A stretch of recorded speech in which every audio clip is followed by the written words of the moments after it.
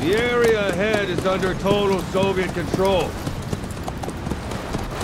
Miller's been captive for 10 days. Not much time left. Weather will clear shortly.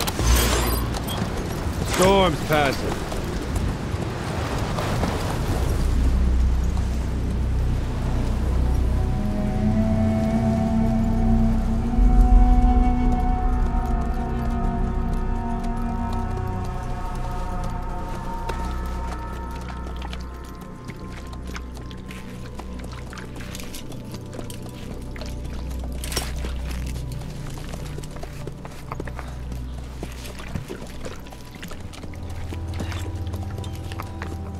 Getting used to it?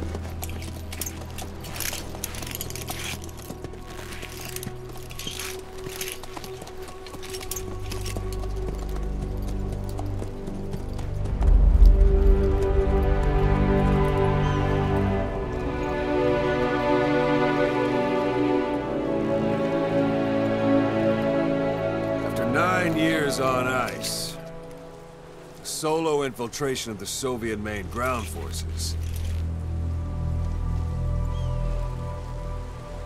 Should be the perfect warm-up.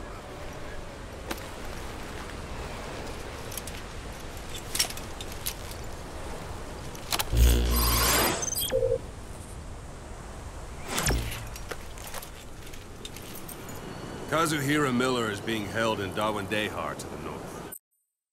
Check its location now. He can't have much left in him. I give him three days, tops. If we fail, and he dies, we lose our chance of revenge. But we need more intel. If you just go charging into Dawandehar, you'll be putting both your lives at risk. See what you can find out first. The Soviets have other outposts, not just the one you saw. Afghanistan is a big place. I expect you'll become quite familiar with those binoculars as you plan your next move. How and where you make it, that's up to you. From here on out, you're on your own.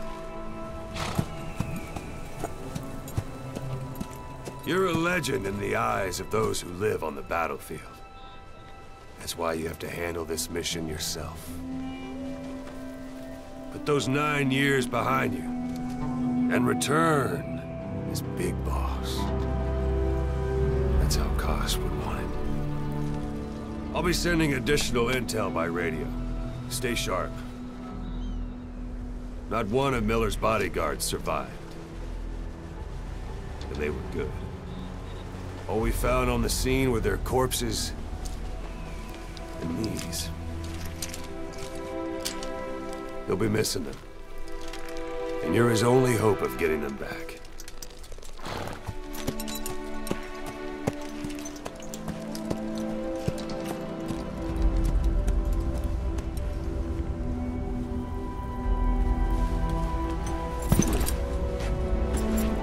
Now go! Let the legend come back to life.